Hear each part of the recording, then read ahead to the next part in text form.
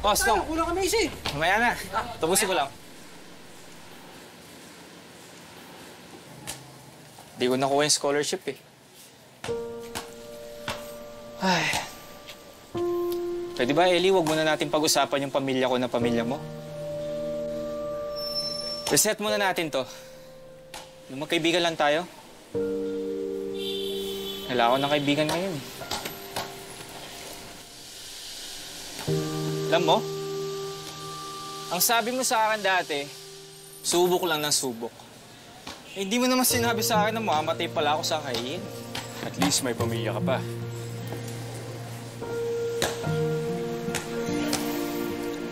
Alam mo, Ellie, ikaw pinakalugi sa ating apat, no?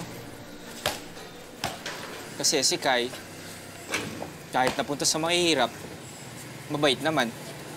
Si Tesay naman, kahit napunta sa mga halimaw, eh mayaman naman. Ako naman, mukhang isa lang naman yung halimaw eh.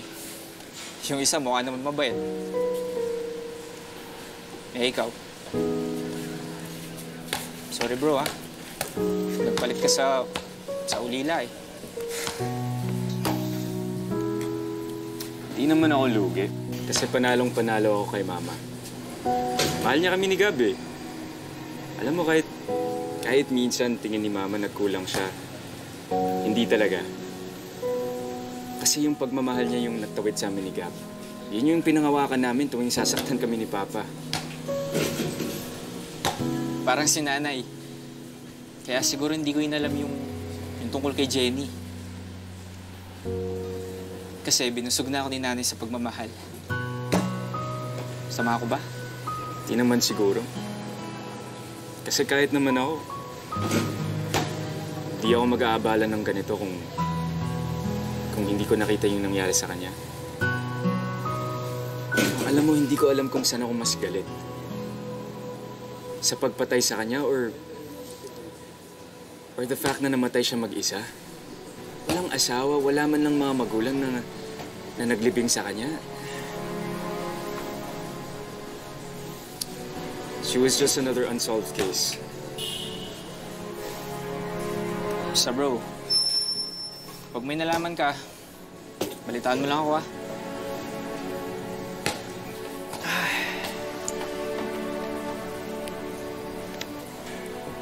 Alam mo, naisip ko lang.